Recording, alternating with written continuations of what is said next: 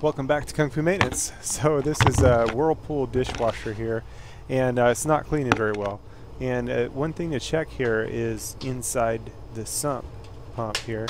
Now in order to take this apart uh, what you got to do is take a flat blade screwdriver or a knife and pick up on the right side here.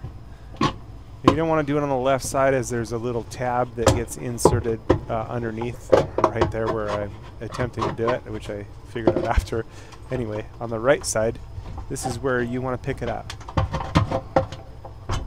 And once you can kind of get under there, you can, you know, get under there with your fingers and then pull it up.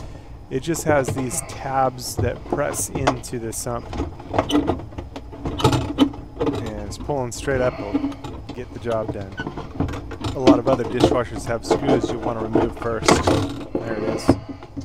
Okay, and you see on the left side it's got a little tab that inserts. It'll be a little clearer when I put it back together.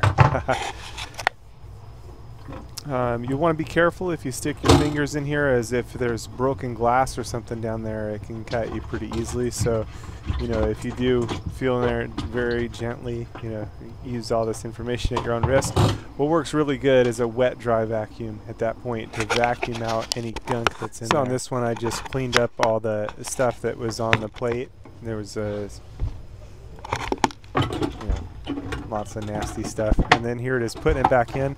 Now you want to make sure that you put in the left side first. As you can see here, I didn't do that. I put the right side in first and yet had to start all over. So I figured I'd pass on the information here. So uh, you guys wouldn't have to start all over uh, like I did. So I pulled it back up, inserting the left tab first and then pushing it down into place. It's very, very simple there.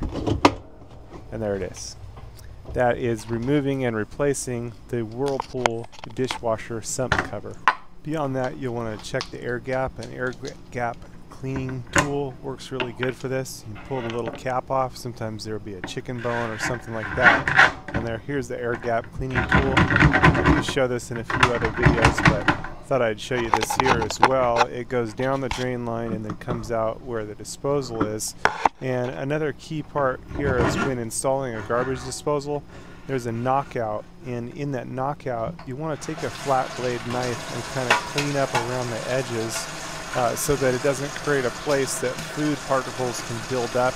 Again, I show this a lot more in my garbage disposal install videos, as well as uh, if you had your a dishwasher leaking water up on the sink in that video.